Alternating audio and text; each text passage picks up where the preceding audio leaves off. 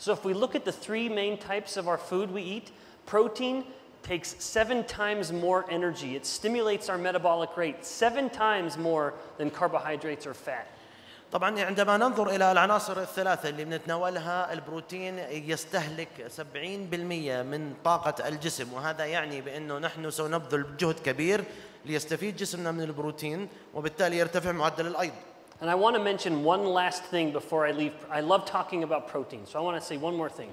سوف نقول نقطه اضافيه عن البروتين قبل ان ننتقل الى الموضوع التالي And it's something called the protein leverage hypothesis. So something like, oh, you got it.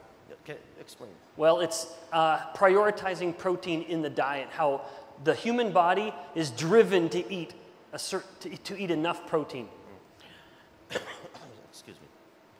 الفكرة اللي إحنا بنتحدث عنها هي انه الجسم حقيقة مصمم بشكل انه يستهلك كمية بروتين اعلى وانه يطلب كمية بروتين اعلى. So, another way of saying this is we will keep feeling hungry in a day until our body has reached a limit where it says, ah, now you got enough protein, I can build.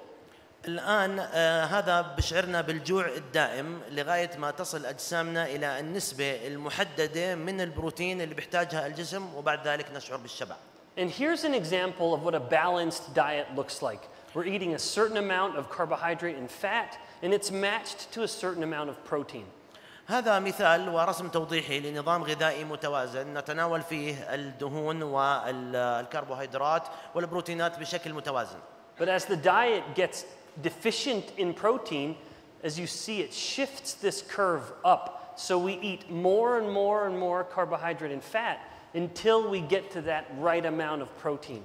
لكن عندما يكون هناك نقص في البروتين في النظام الغذائي فإنه المنحنى يرتفع إلى الأعلى ز- كما نرى وبالتالي الجسم سوف يطلب المزيد من الطعام ونحن نتجه في هذه الحالة للكربوهيدرات وللدهون لإشباع الجسم In fact, this is something we see around the world.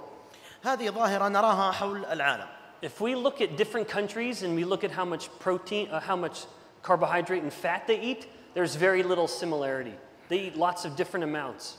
لو نظرنا إلى بلدان العالم سوف نجد بأن نسب السكر أو الكربوهيدرات والدهون التي يتناولها الناس هي نسب آه، يعني قليلة الشبه But if we look at how much protein they eat, it's almost identical.